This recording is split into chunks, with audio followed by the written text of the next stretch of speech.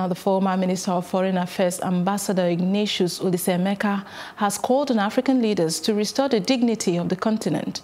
The former Minister of Foreign Affairs, while speaking at the maiden lecture of the Association of Retired Ambassadors of Nigeria, says the continuous invitation by European leaders to representatives of African nations to converge in their countries for whatever security and economic summit is humiliating and an embarrassment to the continent.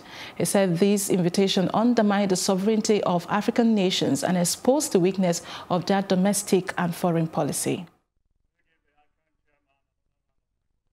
Africa must continue holding on dignified summits such as Franco-Africa, Sino-Africa, Africa-Japan, Africa-Turkey rounds of meetings.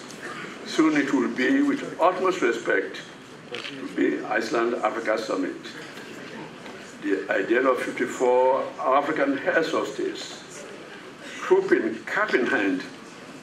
Didn't we do that recently? I, don't, I didn't say it.